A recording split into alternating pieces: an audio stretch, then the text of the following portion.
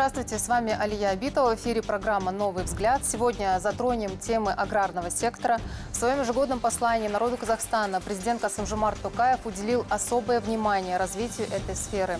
Сегодня у нас в гостях председатель Палаты предпринимателей Атамекен Алматинской области Тимур Бекеев. Тимур Берикович, здравствуйте. Здравствуйте, Алия. А какие сейчас наиболее актуальные проблемы имеются в этой сфере и с чего в первую очередь необходимо начать развитие АПК? Как отметил глава государства в своем последнем послании народу Казахстана, необходимо уделить большое внимание развитию агропромышленной отрасли в нашей стране. Абсолютно согласен с данным утверждением. Как и любая отрасль, агропромышленная отрасль является не исключением. Есть ряд проблем и определенных задач, которые необходимо решать и решать уже сегодня. В целом специфика проблем в регионах нашей страны разнится, но есть ряд проблем, а, которые присущи, в принципе, для каждого региона нашей страны. Например, изменение климата, наводнения, засухи, а, различные экстремальные климатические условия могут а, оказывать негативное влияние на развитие сельскохозяйственной отрасли в нашей стране.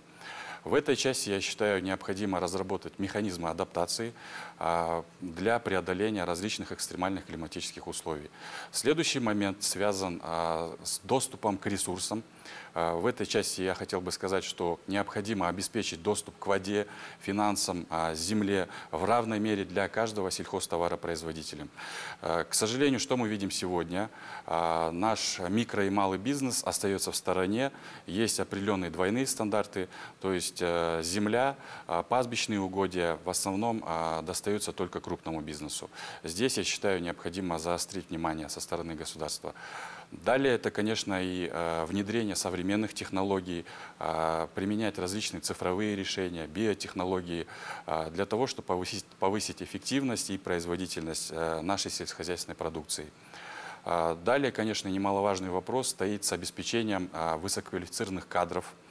Наш, наша страна является трудодефицитной, к сожалению, на сегодняшний день. В этой части я считаю, что необходимо возобновить практику в рамках дорожной карты дуального обучения совместно с местными исполнительными органами, предприятиями, заключение трехсторонних договоров между предприятием, колледжем и студентом. Э, мы же со своей стороны, как Палата предпринимателей Атамикен, э, готовы сопровождать данные проекты. Ежегодно мы проводим опрос по наличию потребностей в кадрах, который в дальнейшем ложится в государственный образовательный заказ колледжа колледжей и вузов.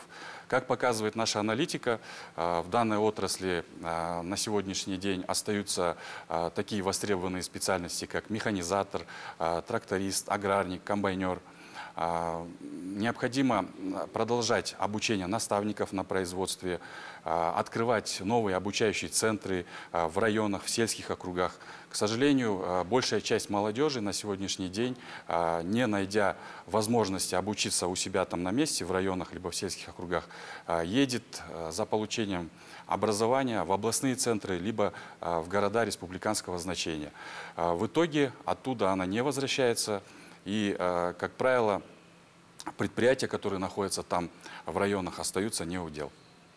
Вот сейчас в Северо-Казахстанской области успешно строится более 100 крупных молочно-товарных ферм. Скажите, в каких регионах планируется построить такие же фермы и где они наиболее необходимы? Э, местоположение наиболее необходимых молочно-товарных ферм может зависеть от нескольких э, причин. В первую очередь это наличие э, пастбищных угодий, э, климатические условия – доступ к рынкам сбыта.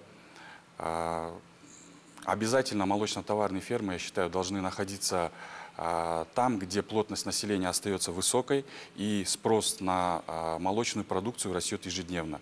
Среди таких регионов нашей страны я бы мог отметить Алматы, Астана, Алматинскую область. В одной только Алматинской области на сегодняшний день зарегистрировано около 56 молочно-товарных ферм. Государство в этой части, я считаю, уделяет э, большое внимание. Сегодня выдаются э, льготные кредиты до 5 миллиардов тенге. А льготные кредиты выдаются там, можете озвучить какие-то условия? А, в этой части, да, э, любой желающий может обратиться в Центр обслуживания предпринимателей Палаты Атамикен. Они функционируют у нас в каждом районе. Города Алматы и Алматинской области, по, по, получить всю необходимую консультацию в этой части и а, получить помощь в части составления бизнес-планов а, и сопровождения проектов. Есть ряд программ, а, об этом, я думаю, а, это отдельная обширная тема, которую стоит затронуть, я думаю, лучше э, в следующий раз. Угу, хорошо. А какой сектор агропромышленного комплекса не развит? В первую очередь, конечно, хотел бы обратить внимание на а, модернизацию инфраструктуры. А, нашей стране в этой части необходимо усилить а, инфраструктуру в части транспортировки, логистики, хранения и обработки сельскохозяйственной продукции для того, чтобы увеличить эффективность производительности товаров сельхозназначения. Далее это, конечно же, и вопрос финансирования. Наши аграрии, к сожалению, ежегодно сталкиваются с проблемой нехватки субсидий. А, В этой части, я считаю, необходимо решать проблему с корректным планированием а, ежегодного бюджета.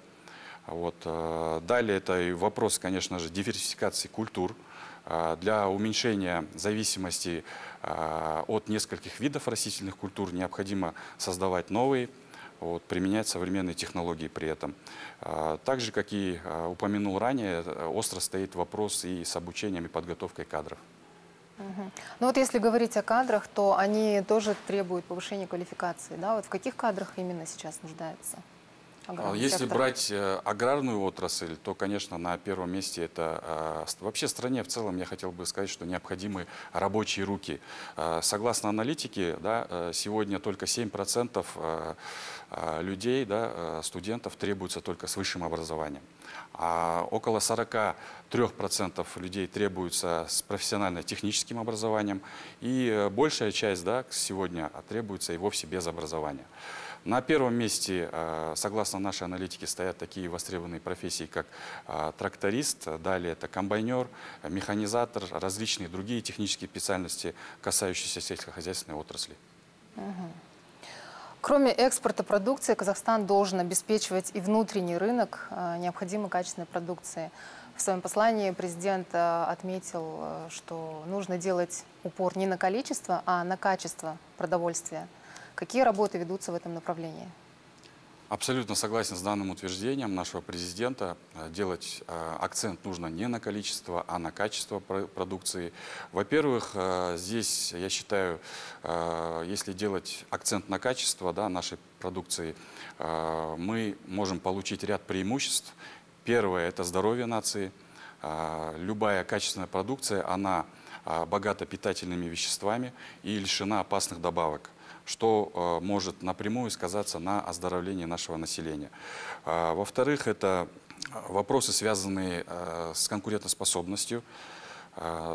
Продукция качественная, она может э, достойно конкурировать на внутреннем рынке и, более того, быть э, экспортоориентированной.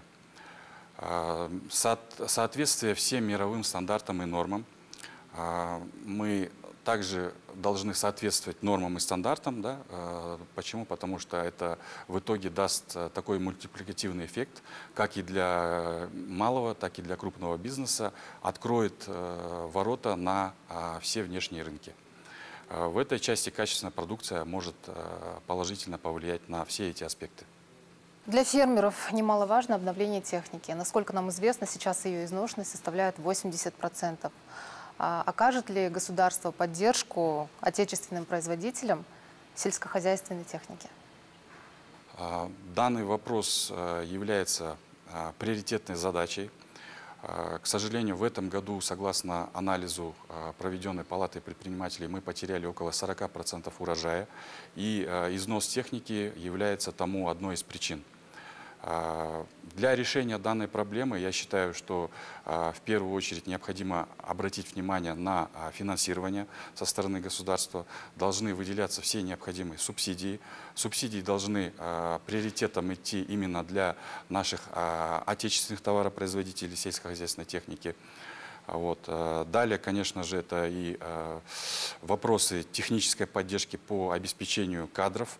То есть э, необходимо обучать э, тех людей, которые будут пользоваться этой техникой. В итоге это будет э, служить тому, что срок годности пользования этой техники будет увеличен в несколько раз. Следующий пункт, который я хотел бы отметить, это лизинг и аренда. А, необходим, необходимо обеспечить все а, условия для того, чтобы наши сельхозтоваропроизводители а, беспрепятственно могли получать технику в лизинг, а те сельхозтоваропроизводители, которые не могут этого делать, могли брать ее в аренду.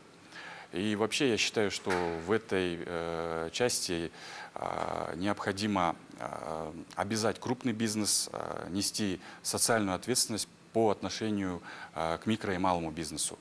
То есть э, те э, микроши и малыши, которых мы так называем, да, э, имеющие 10-15 гектар земли, у которых нагрузка на бизнес, финансовая нагрузка на бизнес и так остается высокой, они, к сожалению, не имеют возможности там, приобрести технику по той или иной причине э, и, соответственно, не могут вовремя убрать свой урожай и э, остаются неудел. В этой части, я считаю, крупный бизнес должен помогать. Национальный аграрный научно-образовательный центр станет высокотехнологичным агротехнологическим хабом, объединяющим различные аспекты аграрных исследований. Какие усилия нужно объединить для того, чтобы достичь результатов? Создание агротехнологических хабов является одним из ключевых э, приоритетных направлений э, для того, чтобы развивать э, сельскохозяйственную отрасль. В этой части, я считаю, необходимо объединить усилия по э, разработке и внедрению новых современных технологий, э, всевозможная автоматизация, использование данных, которая в итоге э, будет способствовать э, повышению урожайности и эффективности э, сельского хозяйства в целом. А, далее, конечно, это и а, обеспечение высококвалифицированными кадрами. А, необходим обмен опытом как с странами, соседними странами, да, так и с зарубежными странами. Вот. Далее, конечно, это проводить различные форумы, объединять научные исследования, которые в итоге будут положительно влиять на развитие агропромышленного комплекса у нас в стране. Как планируется регулировать цены на социально значимые продовольственные товары? Регулирование цен на социально значимые продовольственные товары может э, зависеть от э, экономической политики и социальной приоритетности государства. Но в целом есть э, ряд кейсов, да, по которым, в принципе, можно регулировать данное направление. В первую очередь это фиксация цен. Государству необходимо устанавливать потолок цен – исключать а, манипуляции со стороны а, монополистов, да, исключать полностью монопольное поведение на рынке. Далее, конечно, это и социальная поддержка. То есть помимо того, что государство уделяет э, внимание там, э, развитию различных стабилизационных фондов, да, которые э, в итоге э, обеспечивают наличие перечня социально значимых продовольственных товаров на полках, необходимо выдавать ваучеры, различные купоны на то, чтобы, допустим, те же наши пенсионеры да, или же люди с низкой заработной платы могли беспрепятственно получить те или иные продукты питания. А далее обеспечить, конечно же, в первую очередь, наверное, это а, запасы продовольствия, так как а, в случае нехватки продуктов питания на рынке данные запасы могут позволить обеспечить уязвимые слои населения продуктами. Также немаловажный вопрос, касающийся субсидий, получения субсидий и государственных закупок. Я считаю, государству необходимо выделять э, всю необходимую помощь нашим аграриям и э, путем государственных закупок приобретать э, сельскохозяйственную продукцию непосредственно у фермеров по низкой цене. Какие усилия прилагает Палата Атамикен для защиты данного направления? Защита бизнеса для нас, Палаты предпринимателей Атамикен, является нашим одним из ключевых стратегических направлений. В этой части мы а, стараемся обеспечить максимально широкий охват и вовлеченность а, всех предпринимателей в процесс формирования законодательных и иных нормативных правил работы ведения бизнеса. А, на нашей площадке функционирует Совет по защите прав предпринимателей и противодействию коррупции, где на каждом заседании участие принимают наши стратегические партнеры, это антикоррупционная служба и прокуратура. С представителями данных ведомств у нас созданы а, мобильные рабочие группы по защите бизнеса и на основе меморандума а, составлен план мероприятий на текущий год. Также хотел бы отметить, что на площадке палаты успешно функционирует отраслевой совет агропромышленного комплекса, где решаются как местные, так и системные проблемы. На каждых отраслевых встречах участие принимают местные исполнительные органы.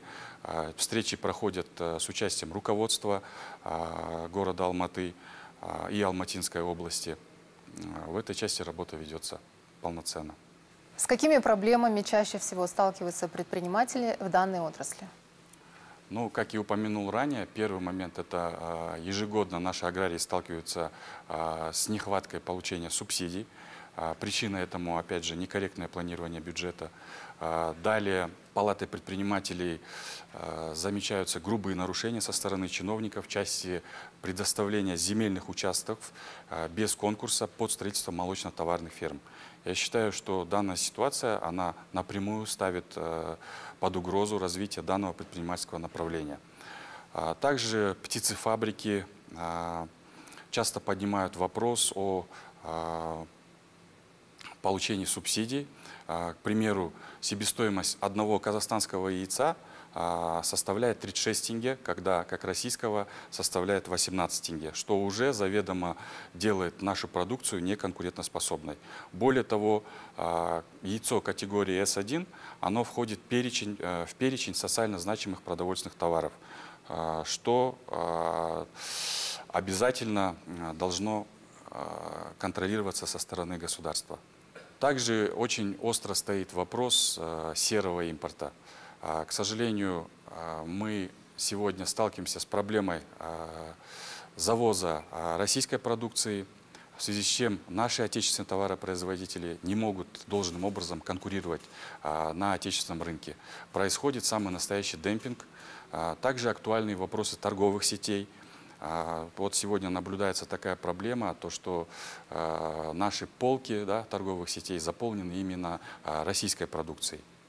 Вот. Это касается, в принципе, любой отрасли, даже взять, если и транспортную отрасль, 70% рынка уже э, заполнено э, российскими грузоперевозчиками. Убыток только за прошлый год составил около 1 миллиарда евро. Скажите, какие еще приоритетные направления есть для развития предпринимательства? Помимо защиты бизнеса, Палата предпринимателей э, уделяет большое внимание и э, экономической деятельности. А, в этой части я хотел бы сказать, что в каждом районе нашего города и нашей области Алматинской функционируют центры обслуживания предпринимателей, которые оказывают всю необходимую поддержку в части ведения бизнеса как для начинающих, так и для действующего бизнеса. А, оказываются всевозможные услуги по ведению налогового учета, бухгалтерского учета, а, оказываем помощь а, в составлении бизнес-планов, стат-отчетности, помогаем регистрировать, перерегистрировать и закрывать малые и средние предприятия. На сегодняшний день что мы наблюдаем? То, что на рынке появилось очень много консалтинговых компаний, которые оказывают ту же помощь, но платно. А, один такой пакет услуг составляет э, около 300-400 тысяч тенге в денежном эквиваленте, тогда как мы это делаем абсолютно бесплатно. А, также хотел бы сказать, что в этом году Палата предпринимателей приступила к реализации нового инструмента поддержки Менкаспкер. А, в рамках данного направления деятельность осуществляется в двух направлениях. Это Центр развития женского предпринимательства и Каспке Багат. По первому направлению а, можно получить а, женщинам, начинающим женщинам-предпринимателям поддержку в части менторства, а, получения, привлечения инвестирования, также различные женские форумы. Также в этом году мы проводили проект «Одно село, один продукт», а, это кооперация нескольких предпринимателей, так или иначе создающих один продукт. Эта тема актуальна для а, сельских жителей, именно для сельских женщин, которые хотят а, начать вести свой бизнес. По второму направлению Каспке Багыт есть возможность бесплатно, опять же, обучиться отраслевому направлению, такому как КРС, молочное хозяйство, молочное направление, туризм, растениеводство, пчеловодство и так далее. На этом наш выпуск завершен. Спасибо вам большое, Тимур Берикович, за такие содержательные ответы. Спасибо, Алия, за приглашение. А я прощаюсь с вами. До встречи в эфире.